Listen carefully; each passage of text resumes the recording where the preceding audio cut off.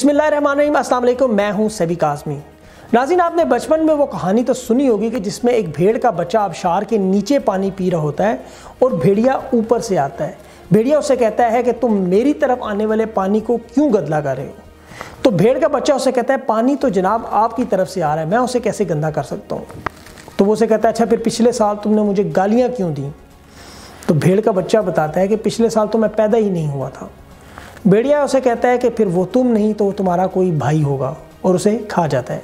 اسے انگلش میں کہتے ہیں مائٹ از رائٹ یا اردو میں جس کی لاٹھی اس کی بھینس۔ بائیس ستمبر کو عراق نے ایران پر حملہ کیا۔ عراق کے ساتھ اس وقت سعودی عرب، امریکہ، کویت اور تمام مڈل ایسٹ کے ممالک بشمول پاکستان تھے۔ وجہ تنازع ایک جگہ ہوستان شہر جہاں پر قدرتی تیل کی دولت سے مالا مال تھا۔ دونوں ممالک کا دعویٰ تھا، یہ ہماری جگہ ہے۔ دونوں جنگ میں کود پڑے، شیطان نے اس کو چنگاری لگائی اور دس لاکھ لوگ مارے گئے دونوں طرف سے۔ ایک کھرب ڈالر کا نقصان ہوا۔ دونوں ملکوں کی تباہی کے اثار آپ کو نظر آتے رہے۔ پھر صدام حسین کویت پر حملہ کرتے ہیں۔ دو اگست انیس سو نوے کو۔ دو دن کے اندر اندر وہ کویت پر حملہ کر کے اس کے بادشاہ بن جاتے ہیں۔ وہی صدام حسین جن کے ساتھ امریکہ، سعودی عرب، کویت اور وہ تمام ممالک ساتھ تھے، اب وہ سب کے سب ان کے دشمن بن جاتے ہیں۔ صدام حسین ان کی ڈارلنگ کی جگہ لیتے ہوئے گٹر میں سے ملتے ہیں اور پھر ان کی پھانسی اور باقی کی کہانی آپ کو پتہ ہے ایران کے ساتھ اس وقت کھڑے ہونے ملکوں میں لیبیا اور شام تھا۔ ان دونوں کا حال بھی آپ کے سامنے ہے۔ دونوں ممالک اس وقت تاراج ہو چکے ہیں۔ بغداد جو کھوپڑیوں کے مینار بنے، تو ان دونوں ممالک کو قبرستان بنا دیا گیا۔ یہ تمام سچویشن آپ کے بالکل کرسٹل کلیئر سامنے ہے کہ یہ سب مسلمانوں کے درمیان کیسے اور کہاں ہوا۔ ویپن آف میس ڈسٹرکشن کہا گیا۔ سوری کہہ کے اس کو ٹال دیا گیا۔ بعد میں ایک کسی کو قریب لایا گیا، کسی کے لیے محل کے دروازے کھولے جاتے تھے۔ کسی کو ذاتی برتھ ڈیز پر بلایا جاتا تھا۔ اتنے زیادہ قربت کے بعد ان کا انجام بعد میں آپ کے سامنے کہ کس طرح کس کو کہاں مارا گیا اور کس کو کہاں مارا گیا۔ ابھی ریسنٹلی آرامکو میں جو سعودی عرب کی ایک تنصیبات آئل ریفائنری پر حملہ ہوا، اس پر دو میزائل لگے، لیکن ریفائنری کو سترہ جگہ سے نقصان ہوا۔ یہ ایک بہت بڑی ریفائنری ہے۔ آرامکو کا جن لوگوں کو نہیں پتا، سعودی عرب میں جب چرچ اور شراب اور نائٹ کلب نہیں ہوا کرتے تھے آرامکو میں یہ تمام چیزیں موجود تھیں۔ آرامکو چونکہ پورے کا پورا یونائٹڈ اسٹیٹ کی آرمی اور لوگوں کے زیر تسلط ہے۔ وہاں پر یمن اور ایران تو کیا سعودی بھی پر نہیں مار سکتے۔ ایسے میں یہ حملہ ہو جانا ایک بہت بڑی بات ہے۔ یمن کے حوثی قبائل کے پاس اتنی ٹیکنالوجی نہیں اور ایران کے پاس اتنی جرت نہیں۔ اس سے پہلے بندرگاہ دبئی میں جب کھڑے ہوئے جہازوں پر حملہ ہوا تو ایران پر الزام لگا، جو انہوں نے فوراً جھٹلا دیا۔ اس کے بعد ایران نے اس کے رسپانس میں آتے ہوئے ڈرون کو مار گرایا، جو کہ انہوں نے دکھایا اپنی بری اور بری طاقت۔ ایران نے بتایا کہ ہم عراق نہیں ہیں۔ ایران کے پاس فوجی طاقت بہت زیادہ ہے، اسی لیے ڈائریکٹ لڑنے کی بجائے سعودی عرب کا کندھا استعمال ہوگا۔ اس میں امریکہ کا اسلحہ دھڑا دھڑ بکے گا، مسلمان مکھیوں کی طرح مریں گے اس میں۔ اور فائدہ کس کو ہوگا؟ صرف ایک ملک کو۔ ایک دفعہ پھر وہی کہانی دہرائی جا رہی ہے۔ شطرنج کی وہی چالیں، وہی مورے اور وہی کھلاڑی۔ صرف وقت بدلا، سن بدلا اور سال بدلا۔ پاکستان کے معاملے میں یا کشمیر کے معاملے میں جس طرح عربوں نے ہمارے ساتھ کیا، اب یہ مسئلہ ان کے ساتھ جو ہے، یہ امت مسلمہ کا مسئلہ نہیں۔ یہ مسئلہ امت مسلمہ کا صرف اس صورت میں ہے کہ دو مسلمان آپس میں لڑنے کے قریب ہیں۔ لیکن اگر دونوں آپس میں سر ٹکرا کر پاش پاش ہو جانا چاہتے ہیں تو ان کی مرضی ہمیں ان سے صرف مصلحت اور سالسی کا کردار ادا کرنا چاہیے۔ وہ بھی اس صورت میں کہ جب دونوں فریق ہمیں کہیں تو۔ ورنہ ہمیں اپنی دنیا میں مگن رہنا چاہیے اور کوشش کرنی چاہیے کہ یہ مسائل اس نوبت تک نہ آئیں کہ مسلمان کا خون کہیں پہ بھی بے آج کے پروگرام میں ہم بات کرتے ہیں خورم نواز گنڈا پور صاحب سے، جو کہ ایئر فورس سے ان کا تعلق رہا۔ اور پاکستانی سیاست کے علاوہ دنیا کی سیاست کو بڑی قریب سے دیکھتے ہیں۔ میرے ساتھ رہیں۔ ملتے ہیں ایک چھوٹی سی بریک کے بعد۔ خورم صاحب یہ جو حالیہ تنازع ابھی سعودی عربیہ اور اس کے ساتھ ایران کے ساتھ چل رہا ہے، آپ کو لگتا ہے کہ جنگ کے دہانے تک پہنچ سکتے ہیں دونوں ممالک؟ دیکھیں امریکن اسٹیبلشمنٹ میں ایک پوری کلاس ہے جو چاہتی ہے کہ دو مسلمان ملکوں کے درمیان تصادم ہو۔ انفارچونیٹلی سعودی عربیہ اپنی ضد میں ہے، ایران اپنی ضد میں ہے ناٹ ریئلائزنگ کہ at the end of the day نقصان جو ہوگا وہ صرف مسلمان ملکوں کا ہوگا۔ اور عوام جو ہے، چاہے وہ سعودیہ میں ہے اور چاہے وہ ایران میں ہے، ایران کی عوام تو آلریڈی سفر کر رہی ہے اور آگے جو ہے، اگر کوئی جنگ کی صورتحال بنتی ہے تو سعودی عوام بھی یقیناً سفر کرے گی۔ لیکن یہ ویسٹ کا ایجنڈا ہے، آپ دیکھ لیں دو ہزار چار میں انہوں نے کہا تھا، جن سات ملکوں کا نام لیا تھا، ان میں سے پانچ ملک تو آلریڈی تباہ ہو چکے ہیں، پیچھے ایران اور پاکستان رہ گیا اچھا خورم صاحب، ابھی ہم نے دیکھا کشمیر کے مسئلے پر جس طرح عربوں نے کشمیر کا اور ہمارا ساتھ بالکل نہیں دیا۔ اب اس صورتحال میں جو بن رہی ہے کہ سعودی عرب اور ایران کا تنازع ہمیں اس میں پاکستانی ایز اے ملک، ہمیں کیا کرنا چاہیے؟ ہر کوئی اپنے اکنامک انٹرسٹ اور اپنے انٹرسٹ کو جو ہے پروٹیکٹ کرتا ہے نا۔ ابھی آلریڈی آپ دیکھیں سی پیک پہ اتنی انویسٹمنٹ کرنے کے باوجود China alternative to CPEC develop کر رہا ہے۔ ترکمانستان اور تاجکستان اور ازبیکستان کے تھرو ایک نیا روڈ لنک بنا رہے ہیں، ایران کے ساتھ جس کو کنیکٹ کر رہے ہیں، چابہار کے ساتھ۔ تو وہ مستقبل کی طرف دیکھ رہے ہیں کہ کشمیر کا معاملہ خدا خبر کس طرف بیٹھتا ہے۔ اگر کبھی کوئی زندگی میں سٹیج آتا ہے کہ سی پیک یا انڈیا پاکستان وار ہو جاتی ہے اور سی پیک کا راستہ بند ہو جاتا ہے تو وہ آلریڈی آلٹرنیٹیوز ڈیولپ کر رہے ہیں۔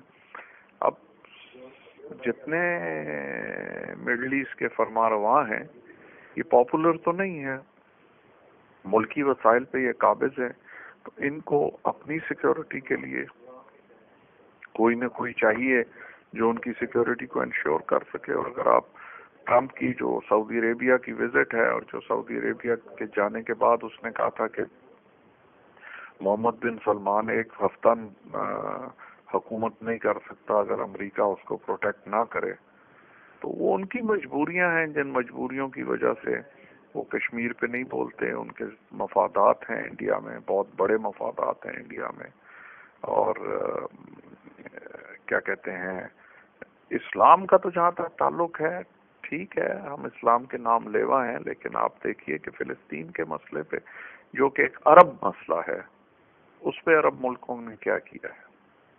خورم صاحب، عمران خان صاحب کا جو ابھی سعودی عرب کا ٹور ہے، ابھی جو دور ہے ان کا، آپ کو کیا لگتا ہے اس میں کیا مسئلہ ہے کشمیر میں سعودی عرب کے لیے دوبارہ مدد، سالسی وغیرہ، یا ان کی جو ریفائنری پر یہ جو مسئلہ ہوا ہے، اس کو وہ ان کے ساتھ لا کے یکجہتی یا ان کے ساتھ سپورٹ کا پروگرام دے کے لیں گے؟ پرووائڈ کر ہی نہیں سکتے، اس لیے پرووائڈ نہیں کر سکتے کہ پیٹریوٹ میزائلز انہوں نے لیے ہیں جو فیل ہو گئے ہیں۔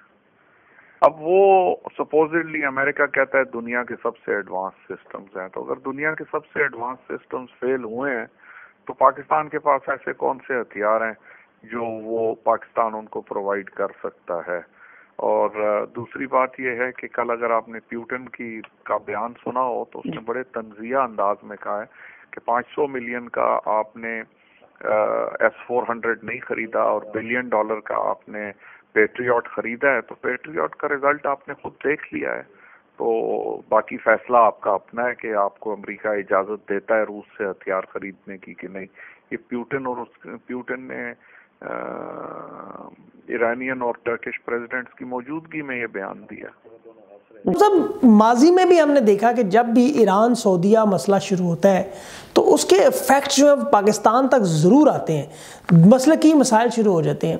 تو اب جو آنے والے دنوں میں اگر یہ مسئلہ بڑھتا ہے، تو آپ کا ان لوگوں کے لیے کوئی پیغام ہوگا کہ انہیں کیا کرنا چاہیے؟ بدنصیبی ہے یہ ہمارے ملک کی کہ ہم لوگ وہ کیا کہتے ہیں more loyal then the king کہ بادشاہ کے غلام جو ہیں، وہ بادشاہ سے زیادہ تیز ہیں۔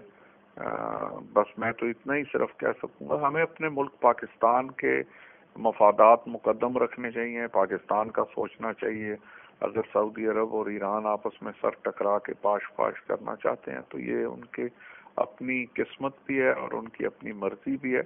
اگر وہ ہماری خدمات لیں اور اگر ہمیں مصالحت کے لیے ہمیشہ مصالحت کرانے والے کو دونوں طرف سے انویٹیشن ہوتا ہے۔ سالس جب بھی مقرر ہوتا ہے دونوں کی رضا اور دونوں کی منشا سے ہوتا ہے۔ اگر وہ ہم کو ایک سالس سمجھ کے بلائیں تو ہمیں ضرور سالسی کرنی چاہیے اور ان دونوں کو سمجھانا چاہیے کہ اس سے چاہے ادھر سے کوئی مرے یا ادھر سے کوئی مرے مرے گا تو مسلمان ہی مرے گا، خون تو مسلمان کا ہی بہے گا۔ تو وہ ہمیں رول ادا کرنا چاہیے، لیکن ہمیں پاکستان کے اندر بیٹھے ہوئے جو شاہوں کے وفادار ہیں، ان کے لیے میں یہی کہہ سکتا ہوں کہ خدارہ، یہ سوچئے کہ آپ کا ملک کون سا ہے اور کیا ایران یا سعودی عرب آپ کو پناہ دیں گے اگر کوئی مشکل یا افتاد آئی؟